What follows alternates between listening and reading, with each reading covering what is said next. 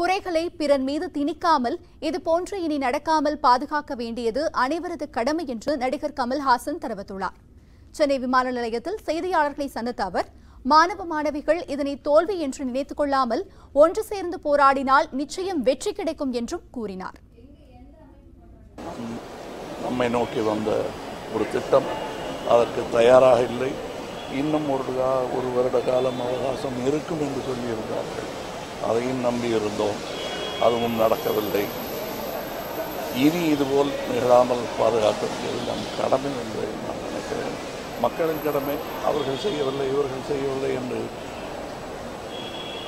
நாமும் குறைகளை இன்னொருவர் மேல் தூக்கி கொண்டு தூக்கி போட்டுக் கொண்டிராமல் நம் கடமைகளை நாம் செய்ய வேண்டும். கோபம் வரத்தான் செய்கிறது கண்ணீருடன் சேர்ந்து. ஆனால் அந்த கோபத்தை நேர்வழிப்படுத்த வேண்டும். என்பதுதான் என்னுடைய வேண்டுகோள்